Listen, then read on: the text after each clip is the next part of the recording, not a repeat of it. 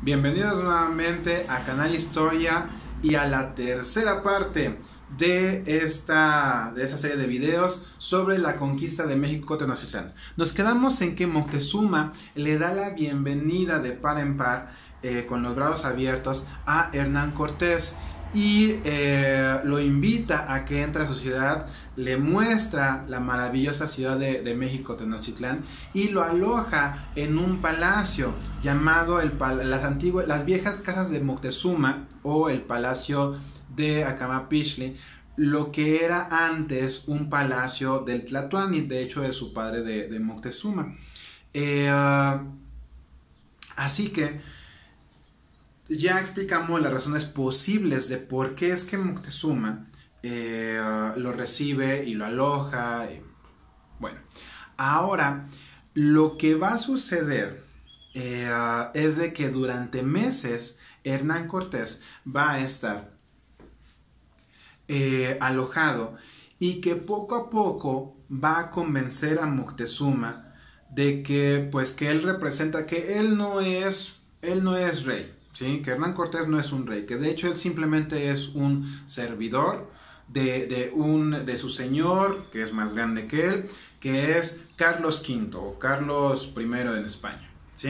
Así que eh, ah, las crónicas que realmente en este sentido solamente contamos con las crónicas de Bernal Díaz del Castillo. Bernal Díaz del Castillo es un, eh, uno de los miembros o uno de los acompañantes de Hernán Cortés, de los 500 españoles que les comenté que, acompañaban a Hernán Cortés, uno de ellos va a ser eh, Bernal Díaz del Castillo, eh, que lo vamos a conocer como un cronista, como un escritor, porque él desde que inicia el viaje Hernán Cortés hasta la conquista, Bernal Díaz del Castillo todo lo va a escribir en un diario. Así que su libro eh, va a hacer referencia y pues realmente va a ser la, única referencia que vamos a tener. Si lo que dice Bernal Díaz del Castillo es cierto o no, pues realmente es de que nos vamos a tener que quedar con la duda porque nadie más escribió al respecto. Lo que dice Bernal Díaz del Castillo es que eh, es que Moctezuma realmente le cede el poder a Hernán Cortés es decir, Moctezuma se rinde pacíficamente, pero no se lo dice a su pueblo. ¿Qué quiere decir todo esto? Que Moctezuma se rinde sin que la ciudad se entere, ¿sí? Y quien empieza a tomar las decisiones es Hernán Cortés. Hernán Cortés entonces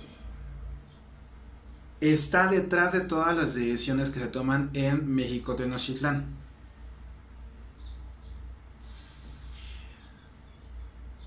Aquí entonces entra la estrategia de Hernán Cortés.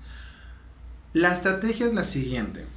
Él quiere oro, él quiere recursos, él quiere que todo el, pueblo que tiene México Tenochtitlán conquistado quiere que todos le lleven el oro que tienen. Así que Hernán Cortés obliga a que Moctezuma empiece a elevar los tributos, los impuestos. Es decir, eh, ¿saben qué? Eh, Moctezuma decidió, ¿sí? Decidió eh, que ahora envíen todo su oro, o que envíen tantas onzas de oro, o tantos pesos de oro, todo eso. Aquí lo que va a obtener Hernán Cortés van a ser dos cosas. Número uno, el oro que tanto quiere. Porque una vez que llega el oro de los pueblos que son conquistados, tributarios de México, Tenochtitlán, una vez que llegan a la ciudad, se lo entrega Moctezuma a Hernán Cortés y en el palacio en donde se están quedando empiezan a almacenarlo. Número uno, entonces consiguen el oro que tanto quieren. Y número dos, lo que va a conseguir es que cada vez el pueblo, los pueblos que son conquistados por los tenochtitlanes, se enojen más y más. Es decir, cada vez lo que está consiguiendo Hernán Cortés son más enemigos para México Tenochtitlán y en consecuencia más aliados para Hernán Cortés. ¿sí?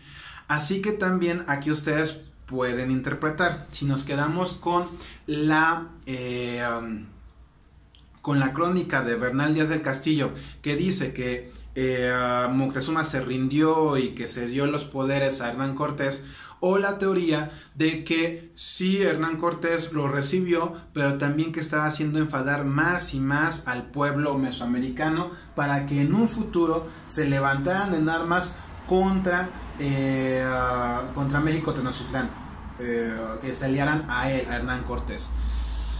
Aquí la historia es muy turbia, desgraciadamente porque no tenemos muchas fuentes. Ahora ustedes se darán cuenta de por qué es tan importante eh, de un mismo hecho tener distintos puntos de vista, distintas fuentes. ¿Por qué?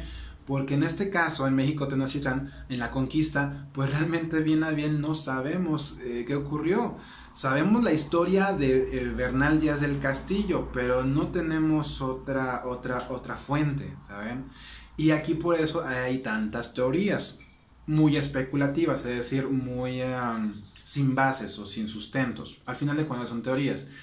Bien, ahora entonces, eh, ah, lo que va a ocurrir, es un evento catastrófico para Hernán Cortés. Una vez que ya tenía dominada eh, México Tenochtitlán, Hernán Cortés va a recibir la venganza de Diego Velázquez. ¿Se acuerdan que eh, Hernán Cortés traicionó a Diego Velázquez, que le robó eh, dinero, que le robó barcos, ¿sí? Para hacer su propia expedición Hernán Cortés. Bueno, pues Diego Velázquez no se quedó con los brazos cruzados. Eh, construyó más naves, juntó un ejército y ese ejército lo va a mandar a que arresten a Hernán Cortés. ¿A quién va a poner al mando de esta expedición? Que en este caso es una expedición para eh, arrestar a Cortés. A Pánfilo de Narváez.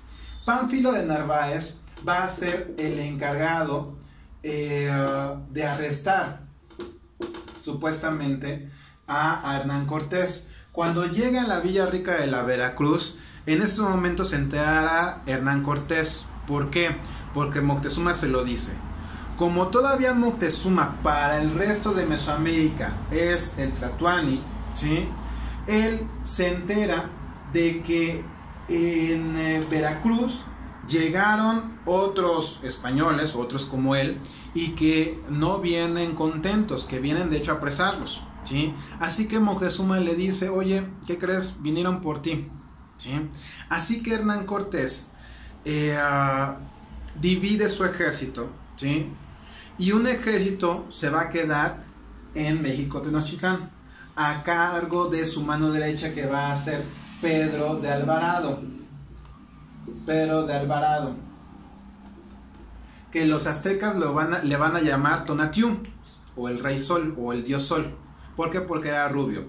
Pedro de Alvarado se va a quedar eh, vigilando o a cargo de la, de la Ciudad de México Tenochtitlán, mientras que Hernán Cortés va a tomar su ejército, ¿sí? Y, también a Tlaxcaltecas para ir a enfrentar a Pánfilo de Narváez. Craso error haber dejado, haber dejado a Pedro de Alvarado. ¿Por qué? Porque eso ustedes me lo van a decir. ¿Qué hizo Pedro de Alvarado? que enojó tanto a los mexicas y que todo esto desencadenara en la muerte de Moctezuma, del Tlatuani. ¿Cómo es que los mexicas, qué habrá hecho Pedro de Alvarado? ¿Qué habrá hecho Pedro de Alvarado o qué habrá hecho Moctezuma para que el pueblo mexica se enfadara tanto que se rebelaran y que mataran a Moctezuma. Bien, esto ha sido todo. Muchísimas gracias por ver. Nos vemos la siguiente. Chao.